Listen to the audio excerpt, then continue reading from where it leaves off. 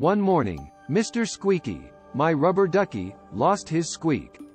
I exclaimed, staring at my beloved bath companion.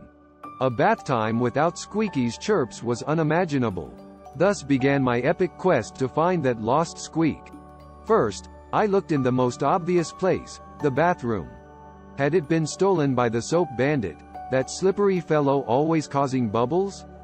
Or perhaps, it got washed down the drain by the waterfall monster? But alas, no squeak was found. Venturing forth, I checked the kitchen. Maybe, I pondered, he shared it with Mr. Kettle, who now whistles a bit too cheerfully. Or had it been baked into today's loaf of bread by Ms. Toaster, always eager to add some extra crunch. But my kitchen investigation came up empty-handed. In the living room, a new theory arose. Could the television, envious of Mr. Squeaky's musical talent, have broadcasted the squeak into a new show?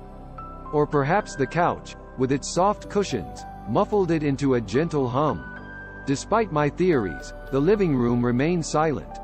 Desperate, I even went to the garden. Did the flowers, eager for a new tune, orchestrate a squeaky symphony?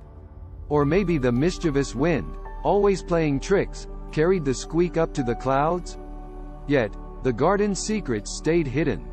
Nearly defeated, I returned to my bathroom for one last bath with Mr. Squeaky.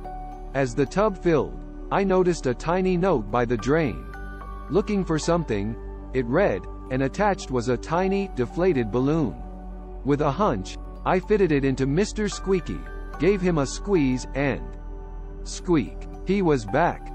It turned out, our cat had fancied the balloon for play, leaving Mr. Squeaky voiceless for a day.